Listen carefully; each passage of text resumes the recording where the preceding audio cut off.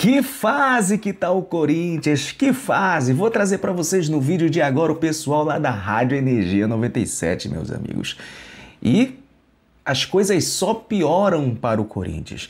Os corintianos, palmeirenses, santistas, são paulinos falaram, lógico, do nosso Flamengo, falaram sobre aquela situação do Varela, velho, que, que tava ali no meio ali. Varela já explicou o que aconteceu é, realmente, porque que ele estava ali naquela confusão é, dos torcedores do Penharol, mas o pessoal lá da Rádio Energia 97 falaram sobre isso. E, cara, as notícias do Corinthians é, é inacreditável. O mano chega ele fica maluco, o mano fica louco, porque é só notícia ruim. Hackearam o Corinthians, amigos. Hackearam o Corinthians. E mais notícias eu vou trazer para vocês aqui na verdade, vamos ver juntos é, lá com o pessoal da Rádio Energia 97. Só que antes, pessoal, bem rapidão, ó, vamos chegando daquele jeitão, sentando o dedo no like. O like de vocês que ajuda muito aqui o nosso trabalho, o like de vocês que ajuda muito aqui nosso engajamento também. Então vai sentando o dedão no like. Se você ainda não é inscrito aqui do canal, botãozão vermelho aqui embaixo escrito inscreva-se. Clica nesse botão, é de graça, não custa nada. Compartilha este vídeo para geral e também ativa o sininho das notificações. Créditos, imagens, direitos autorais deste corte que eu vou trazer para vocês. Na verdade, nós vamos reagir juntos a esse corte, tá? É, agora o canal Almeida Fla tá diferente, né? Tá diferente. A gente está trazendo aqui conteúdo com, com as minhas reações, né? Interagindo, interagindo junto com os cortes.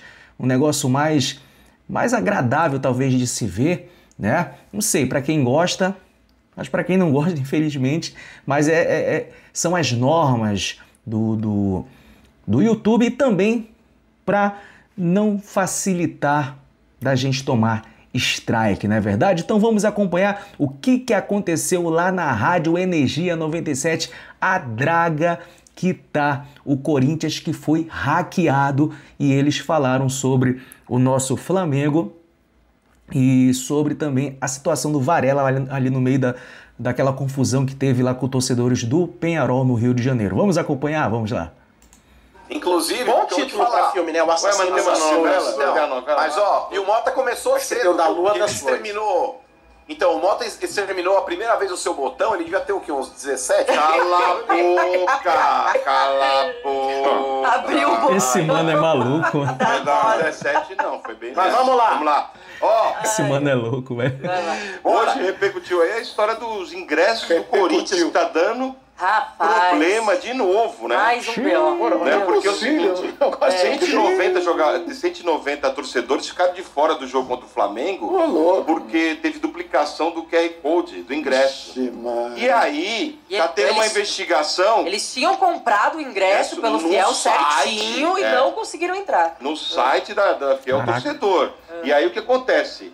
Um hacker entrou no site, né? Copiou esses QR Codes e vendeu né, em um outro site. Mas, eh, desculpa, precisa ter um hacker para copiar? Se você compra um ingresso, ah, então agora eu vou pensar com a cabeça do, do, hum. do, do, do mal intencionado. Eu compro o ingresso, ele vem com o QR Code, é isso? Uhum. Sim. Muito bem. Aí você vai lá e imprime vários, o mesmo QR Code. E aí, isso não é possível? Não, mas depois não, mas é que as pessoas, primeiro, é que as pessoas não tinham, assim, a pessoa comprou, ela não mandou para ninguém o QR Code, não mostrou para ninguém. É foi entrar lá e já tinham entrado com o ingresso dela. Nossa! Aí o Corinthians falou que está tendo uma briga aí, que está perdendo para os hackers. Está perdendo. O problema é que Está perdendo para todo mundo. Realmente estão invadindo o site. Vamos voltar a fazer ingresso de papel, vender aqui tá na porta. Então alertou para os seus torcedores tomar cuidado. Voltar no tempo das pedras, né? Do seu e-mail, rever segurança. Só tinha saudade de uma, dos tempos que eu ficava aqui na Olha, fila, na fila, né? a fila da Brigadeiro, na porta da federação. Duas horas na fila, mas saía com o meu ingresso verdadeiro. Na mão, né? Na mão, na né? Físico, não, mas esse é de verdade. papel, é. Mas o Sombra, o ingresso de, de, de, papel, ele cansou de ser falsificado da mesma eu forma. Sei, mano. É, eu, eu acho que a tecnologia, ela tá aqui para ajudar. E eu acho que é muito cômodo pro Corinthians ficar tentando responsabilizar o hacker, é, ou os hackers. E não melhorar a segurança, né? sistema de clube mas, cara, vou te falar, Sombra, o fiel torcedor ele deixou muito a desejar há muito tempo. O fiel torcedor, Sombra, quando ele foi lançado, inclusive ali é, o Lúcio, Lúcio Blanco, que era o responsável é, por todo esse processo, implementação, desenvolvimento. Cara, vários clubes do Brasil ligavam para o Corinthians para tentar entender como o Corinthians ele conseguia fazer um negócio aí tão eficaz é, em tão pouco tempo. O fiel torcedor, Sombra, ele tinha aí um cronograma de é, de acúmulo de pontos. Era muito mais fácil o desmembramento, o torcedor comprar ingresso. É, não era um negócio tão distante de uma pontuação para outra para poder depois ter prioridade. E nunca teve problema assim. Você lembra o São Paulo? Cansei de ver você falando: porra, São Paulo é uma vergonha, o site não funciona, pô, num jogo grande é complicado, nunca tá no ar, na hora de entrar na catraca é uma merda, porra, fica aquela, aquele tumulto todo, a catraca não lê, não sei o quê. Cara, o Corinthians, quando começou o fiel torcedor, nunca teve esse problema. Mas, é que depois que o Lúcio saiu, e eu não hum. sei o porquê tiraram o Lúcio da responsabilidade do fiel torcedor, o, o, projeto começou a, a, declinar, Sombra. O Corinthians ele, ele, ainda é um dos clubes aí que mais tem torcedores atrelados ao plano de, de, de fidelização ao clube. Mas, cara, é, o, o, torcedor ele precisa ter uma contrapartida. Não, e tem mais é um, um absurdo. Mas tem mais uma vez, Motinha. O cara ter a prioridade de compra, ele entrar no site e não ter ali à disposição porque caiu o sistema. Aí a hora que ele vai comprar, ele já não, vai, não consegue mais. Mas só um minutinho. Veja Sim. bem. Temos que é, também dar aí ao, a, como eu posso dizer, dar ao Corinthians o direito de realmente ter sido hackeado. De realmente. Você está botando que de repente isso aí. Gente, hoje, você, na tecnologia, os hackers, em coisas muito mais difíceis que entrar no sistema de venda de ingressos, eles entram. Os caras sequestram, às vezes, sistemas de informática de um hospital, de um banco, sequestram. Oh, os caras entraram no Pentágono, velho. Os caras entraram no Pentágono. Imagina. Então, no, tudo bem, não acontecia lá atrás quando tinha o Lúcio Blanco, ok. Mas, cara, e por que não pode acontecer hoje, ainda que de repente você tenha aí uma segurança reforçada? Essa é a questão. Lugares muito não, mais mas, Sombra, protegidos discutindo... são hackeados. Mas, ô Sombra, é, desculpa, é que eu estou discutindo macro aqui. Eu falei, é muito cômodo para o Corinthians ficar culpando o hacker, assim como o Corinthians em outras oportunidades, quando o fiel torcedor também é ineficiente, ele acaba responsabilizando alguma outra coisa. É, e o torcedor do Corinthians ele quer uma solução. É, porque cabe ao clube, Sombra, assim como cabe ao banco, se proteger contra hacker. Sim, é, você sim. não é obrigado, sabe, RG, se você paga uma mensalidade, você é obrigado a ter uma segurança na tua conta, você é obrigado claro. a ter um respaldo caso você chegue lá na frente do estádio e comprou o ingresso depois de ter ficado três horas na frente do computador é, e sem pedido de entrar porque um hacker hackeou teu QR Code. Pra mas, mim, mano, às vezes. É, eu entendo, eu você entendo vai que tá sujeito, mas o clube ele precisa dar alternativa, Sombra. Mas às vezes você vai descobrir que você foi hackeado só depois que o problema aconteceu. É, não, no portaria. caso eles estão alegando agora, né? Que descobriram agora nesse é. jogo do Flamengo. Só que na, naquela, na quinta-feira que a gente jogou pela Sul-Americana, isso já tinha acontecido comigo. Eu fui de carona com um amigo meu, com o Serginho, e chegamos no estacionamento, o estacionamento dele já tinha sido utilizado. E ele falou, como assim? Não sei o que, até deu um problema lá. E, e, eu achei que era problema dele, né? Do negócio dele, ok. Aí depois veio isso no jogo do Flamengo também. É, tem mais melhor... um dado dessa história Só um minuto, vamos, assim, para que o corintiano não se sinta lesado, gente, nem perca tempo em comprar o um ingresso para ir, porque você pode ficar de fora. Não, não vá. Agora não é vá. como o Mano falou, cabe ao Corinthians não. resolver essa situação claro. e tem outra coisa. tem mais um dado, 60% Isso. dos ingressos vendidos para é, Flamengo e Corinthians foram só sócio torcedor. O restante foi 40% fora do sócio torcedor, sendo que a maioria dos torcedores do sócio torcedor estava reclamando e não, não conseguiu comprar. Não tinha ingresso mais no site. Para, para, para, para, para. Explica, explica Vamos lá. Ó, abriu o site para vender. 60% dos ingressos dos 100 foram vendidos no sócio torcedor. E esgotou. Esgotou. Beleza. O cara entrou no site e falou: não tem, tá esgotado. Só que no final da conta, que foram lá ver, para quem foi vendido os ingressos? 60% sócio torcedor e 40% fora. Você tem certeza que é 40? Sim, é. é 60 mais 40, é, 100. É. é. Mas aí, boa, assim, o que aconteceu? Ah, tá, Nesse cerca de 40% que foram fora, tem a questão dos camarotes ainda, que tem que ser descontado e tal, não sei o quê. Mas mesmo assim, você descontando. Tem muito sócio torcedor que é, conseguiu comprar. É, tem, é, mesmo você descontando o ingresso de conselheiro, de sócio do clube e tudo mais. Não dá os 40%. Não dá esse número. Então a gente Meu quer saber Deus. como esses ingressos foram parar nas mãos de outras pessoas que não, não são, sócio, é, que não são sócios, muito sócio ficando de fora. E, aliás, esse novo negócio que foi implementado aí pro, pelo Augusto na gestão dele, ele, no, ele no abriu para vender antes do fiel torcedor ingresso para sócio do clube. Só que a maioria ah. desses ingressos para sócio do clube vai para quem não é sócio, vai acabando ficando ah, na mão de outras tá pessoas. Tá então, só, só, uma perguntinha. Uma bagunça esse clube. Só uma perguntinha. Com tudo isso, bagunça, viu, né? Maurício, com tudo isso que está acontecendo, tudo isso, se for para a Série B, como é que fica? Nossa! Mas o RG, é que não vai, cara, porque Deus Olha! Deus não permitirá. Olha! Mas permitiu uma vez? Por que não a segunda? Tá, mas Deus é que tá, a Série B pro Corinthians, a Série B pro Corinthians, foi igual aquela ida pra Praia Grande. Você pergunta pra alguém, fala, vamos pra Praia Grande? Todo mundo torce o nariz. Mas se você topa e vai lá passar um final de semana, é legal. É legal. É legal. Mas não é um final de semana, não é Ontem, Domênico Gato. Eu não sei se vocês estavam assistindo o jogo.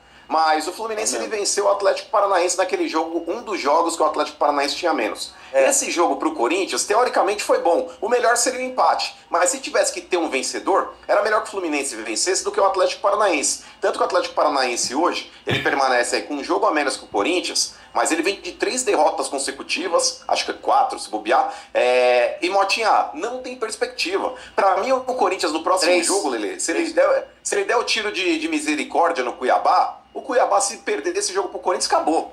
Já cairá Atlético Goianiense, Cuiabá. Amém. O Atlético Paranaense é. tem tudo também para ir nesse Mas barco aí. Mesmo... aí. Vai sobrar uma vaga é. pra brigar lá. Juventude, Vitória, Bragantino. Vocês. É, mas me dizem, não, me não. dizem aqui, eu tô ouvindo aqui, tem um ponto é. aqui, a produção tá dizendo, olha, esse mesmo Deus que é corintiano também zela pelo povo de Cuiabá. Ah, e o Deus aí também gosta da galera do, de Cuiabá. Da, do lado do Atlético Paranaense Nossa, também. esse Deus aí, ele é onipresente. Uhum. Onipresente. Dizem também que Deus, Deus tem seus preferidos, oh, dizem. Não, falando até de jogo clássico. Por isso vocês caíram. Por isso vocês caíram. Não, aquele ele quer dar uma lição filhos. Então me interessa. Mas aí que tá, mas ó, só um adendo aí, ô hum. Motinha. Mas peraí, só um adendo. Já diria racionais. Ah, não. Vigia os cuiabanos, mas amos que vem do gueto. O gueto é, no caso, Corinthians. Então o negócio Deus. é o seguinte. Vizinhos ricos, mas amamos que vem do Gueto. Ó, o clássico contra o Palmeiras será numa segunda-feira. Tá bom, tá bom. Vamos ver, vamos ver a parte que eles falaram do. Vamos ver a parte que eles falaram do Flamengo do negócio do Varela? Falar nisso, Poderíamos, mano. Falar nisso, tapão na orelha, no começo do programa, vocês estavam falando, quem tomou tapão na orelha foi aquela. aquele. Quem aqueles, tomou tapão aqueles na orelha? escrotos torcedores do Penharol. Penharol. Penharol. Que eles estão destruindo tudo no 200 Rio. 200 caras presos, cara. Que absurdo. Ah, os caras fazem barulho, hein? Os caras chegaram detonando jogo, tudo, velho. Contra o Flamengo, eles já fizeram uma ruaça. Nossa! Eles vão. Não vai ter ninguém por causa deles. Não, mas não se esqueçam aí também, quando tem aí o Boca que veio jogar com, com o Fluminense, também teve aquela treta. Tudo bem que depois teve aquela, o problema também da torcida do Fluminense, foi querer bater. E bateram num monte de criança lá, também mulher que tava no ah, meio. Loucos, mas os caras, cara. quando eles vêm pra cá, esses caras, quando vêm pra cá, é, é meio complicado. Eu já vi, Domênico, aqui em São Paulo, o que a polícia aqui em São Paulo faz? Os caras não deixam os caras ficar andando por aí, não. É, geralmente a concentração de time estrangeiro, quando os caras vêm em grande número, é ali no AMB. Os caras colocam naquela rua interna da AMB, estacionam os ônibus ali, não deixa ficar saindo, não. Porque você imagina, Sombra, por exemplo, você junta aí dois mil uruguaios aí, os caras começam a parar ônibus aí na, na região da Paulista. Nossa. Mano, os caras pegam esses bar aí, os caras arrebentam a cidade. Mas, mano, a polícia do Carioca já deu um, fez uma meia-culpa reconhecendo que não encarou o evento como, como devia. Porque era o não, Botafogo. É normal, né? Porque era o Botafogo. É. Se fosse Penharol e Flamengo, Sim. ia ter outros olhos. É claro. E a cena mais curiosa, RG, foi o Varela, lateral do Flamengo, é, velho. Apareceu briga, lá, né? na polícia, velho. Aí pediu desculpa depois. ele, ele, ele fez uma nota dizendo que foi socorrer um amigo, né? É. Ele é formado na, na categoria de passo Exatamente. do Meu Deus. Nossa. Eu não tinha tá certo. Bom, é isso. É, exatamente, foi isso. É porque o, o Sombra já ia falar, pô, ele tava na briga, entrou na briga, não. O Flamengo já emitiu uma nota, o próprio Varela emitiu uma nota também, né, pedindo desculpa pelo acontecimento, mas é, para mim, nem deveria pedir desculpa.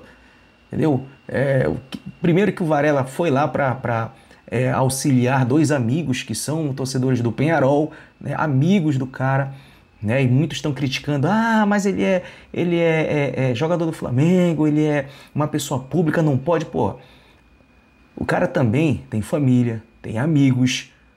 Ou você que é amigo de alguém é só aquele amigo que só gosta de estar com o cara nos momentos bons. Se o cara te solicitar, te ligar, eu tô passando por um apuros aqui, tu não vai tentar salvar o cara. Isso é instinto, cara. Instinto do ser humano. Por isso que eu não julgo essa situação do Varela ter recebido a ligação dos amigos dele. Ó, oh, me salva aqui. Foi lá tentar, cara. É instinto. Então tá de boas. Então foi isso que aconteceu. O Varela pediu desculpa, explicou a situação, né? É, depois ele foi abordado lá pelos policiais, averiguaram o carro dele, revistaram, não encontraram nada, documentação tudo ok. Depois liberaram Varela e o mesmo foi por uma confraternização que aconteceu é, no Ninho do Urubu entre o elenco e a comissão técnica. Enfim, comenta embaixo, deixa a opinião de vocês para o que foi mais este vídeo aqui do canal Almeida Fla. Espero que vocês tenham gostado. Então é isso, até a próxima. Saudações.